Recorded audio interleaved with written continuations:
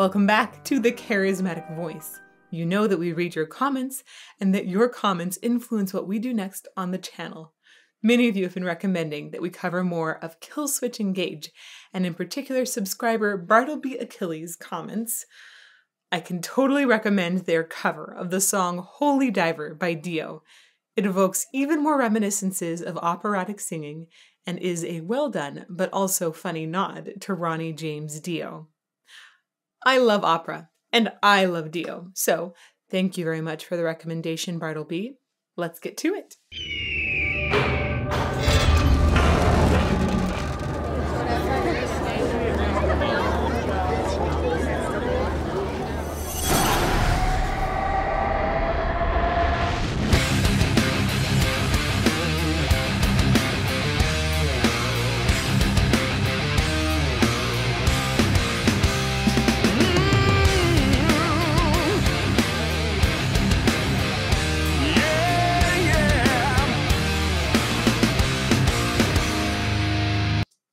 I'm I'm getting some really strong holy grail vibes here.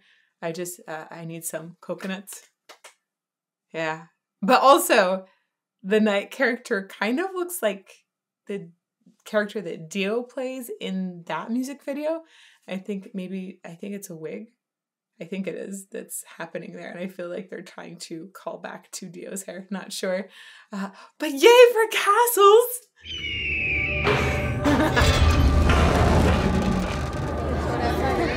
the coconuts? Dun, dun, dun.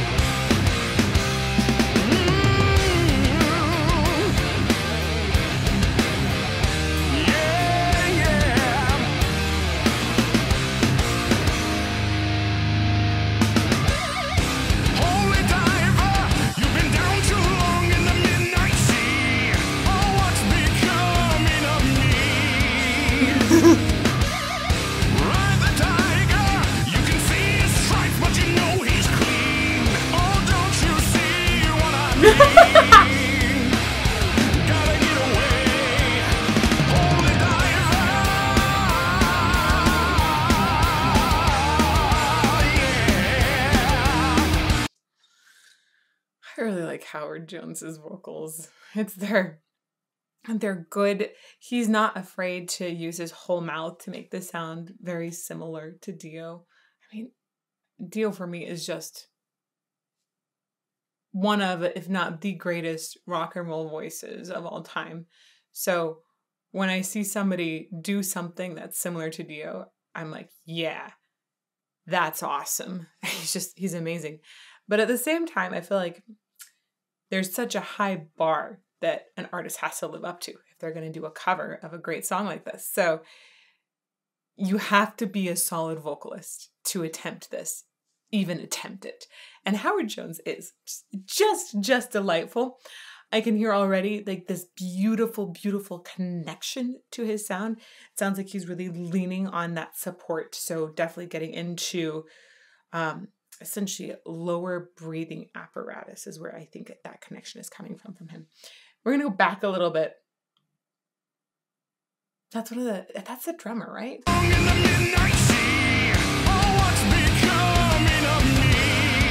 Oh, oh.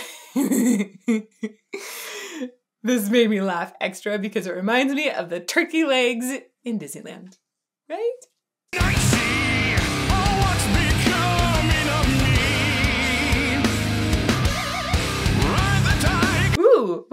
Um, Guy, uh, was that on the bass or the guitar? Guy, one of the band members has really long black hair, it looks like. So maybe that is actually that band member and it isn't a wig. I might have been totally wrong. Whatever it is, those are gorgeous black locks. Yeah.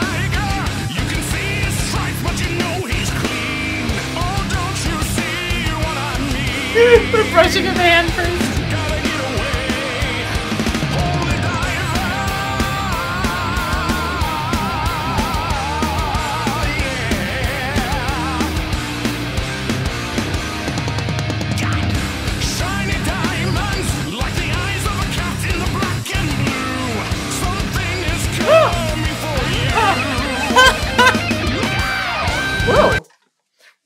Okay, two really awesome things. First of all, I believe that Howard Jones is playing the blacksmith from the original music video by Dio. Little wink nod there. I see what you meant, Bartleby. There's there's a funny wink and nod to the original. I, I like it. Um, but also I I like some of the like screams, the high screams, a little bit of distortion on them that Howard Jones is putting in. He's got such a full, gorgeous sound that has so much power behind it. And then when he goes up high and adds a distortion too, it's just like a really well honed instrument. Diamonds, like the eyes of a cat in the black and blue. Something is coming for you.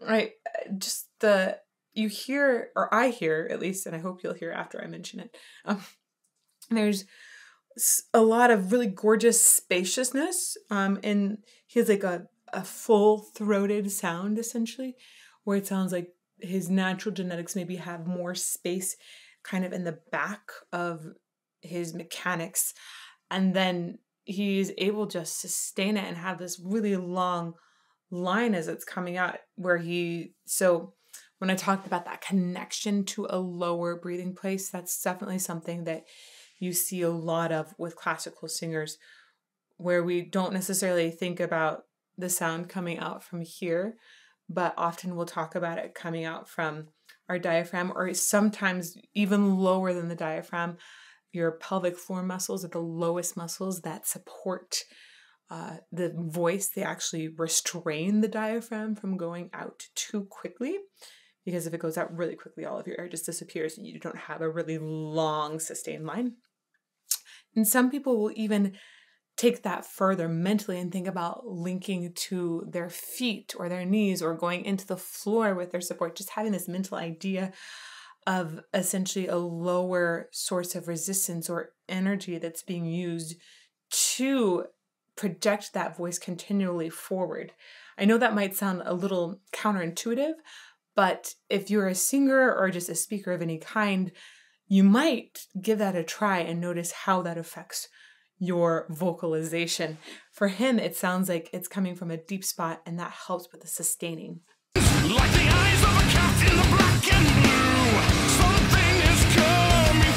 I love the eyebrow raise. Eyebrows speak louder than words.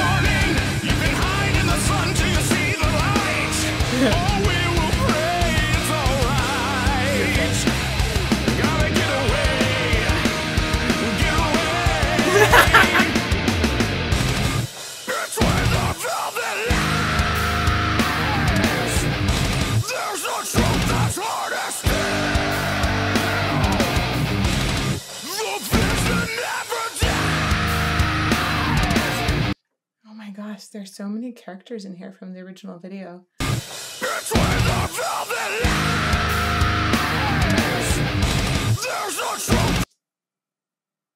That there's some hooded, but I think they're red hooded characters in the original. But there's a character that has like red eyes at one point. I think that's calling back to it. Uh, I I just appreciate how Howard Jones has an incredible clean voice. It's got so much power, robustness to it, um, beautiful, relaxed vibrato on it while having um, just strength that feels like you can shake your bones. But then he goes into harsh vocals and definitely has both lows and highs in his harsh vocals as well. It's like he's he's able to pick and choose from so many different vocalizations in his throat and has honed each of these very well. I think he's an incredibly, incredibly talented singer, but not only talented, it seems like he has developed all of these facets of his voice, which makes me think he think he's an incredibly driven and dedicated person as well.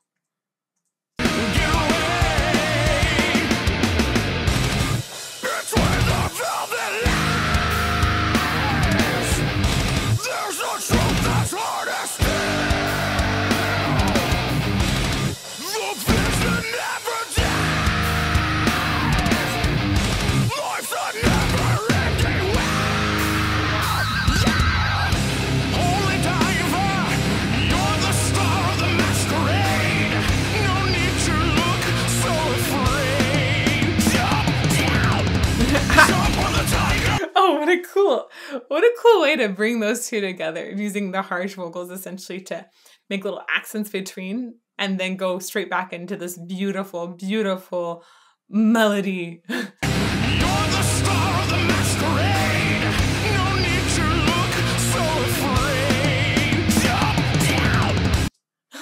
there's like something about his vibrato choices also remind me of Freddie Mercury.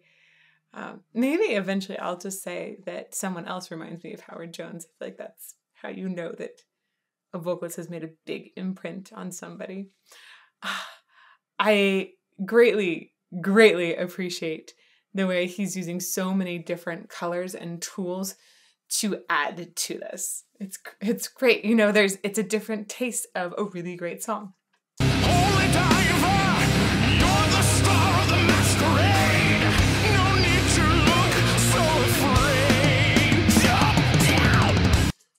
I also have to say, uh, he has a little call offs that Dio often does. He's got a number of those in there.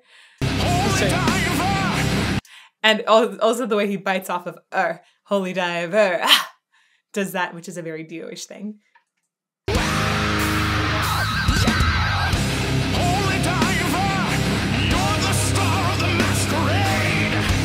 Masquerade that also is a, a Dio-ism. So there's lots of little things that he's added in there as respect as it should be given to the master Dio.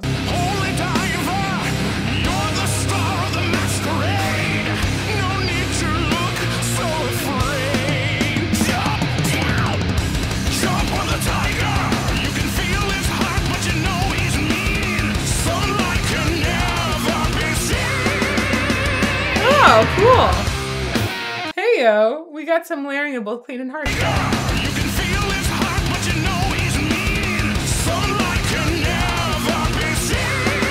Ah, I like that.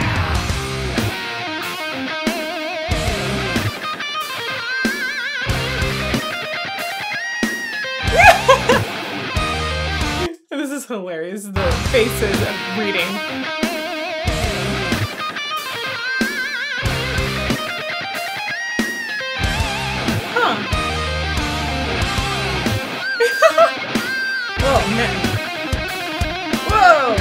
Attack them!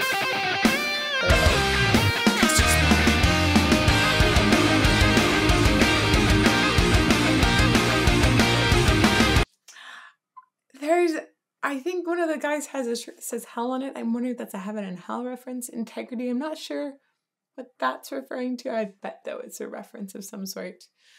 Also, can you imagine getting to film a music video like this in a castle? I just love it. Like, ah, right.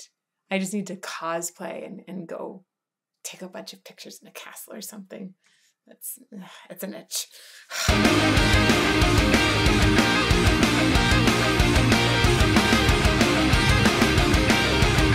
yeah. Yep.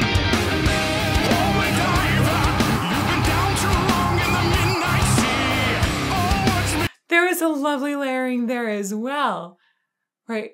So Howard Jones is singing this incredible melody, and then you have like a growl that's happening underneath. it's so cool to hear those layers.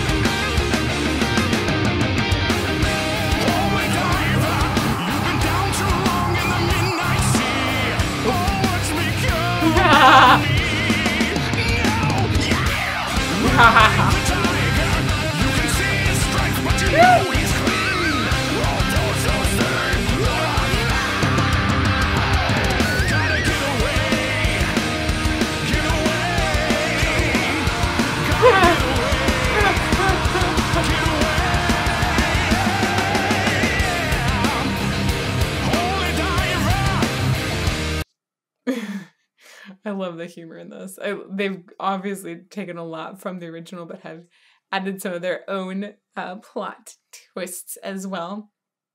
Uh, I'm hoping for a moment when we're going to come back and take a closer look at Howard Jones's mouth. I almost paused it and looked back at that moment earlier, but I was like, God, we'll see more of his mouth later. Uh, it just, I mentioned that he moves his mouth a lot or he's not afraid to move it. And I want you to look at, oh, anytime you see his singing face, not his blacksmith face, when you see it come up, just look at how much movement, how open his mouth often is. It's it's beautiful. It's great enunciation, great singing.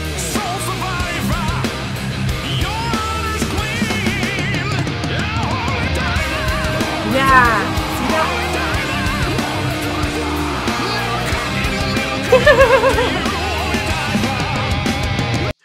Wow. And again, with some beautiful layering of top belted holy diver and then a low, harsh holy diver happening. It's so cool.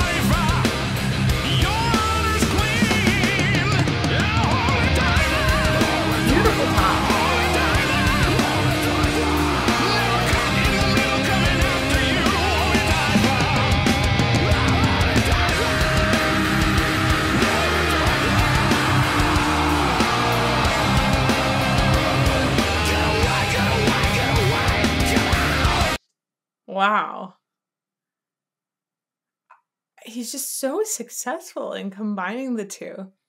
They feel a lot more seamless than I've heard in a lot of vocalists. I feel like there's often like a very, very clear switch between I am singing clean vocals and I am singing harsh vocals.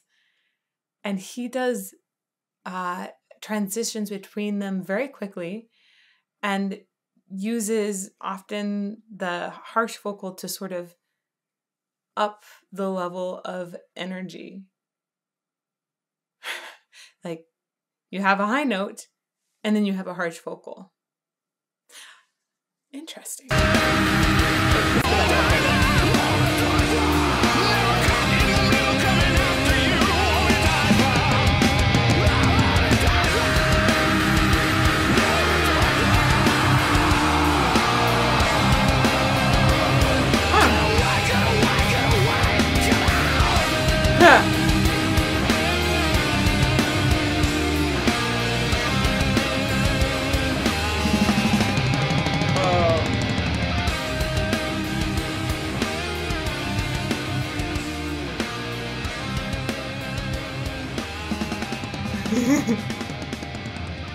oh yeah, kiss the blade.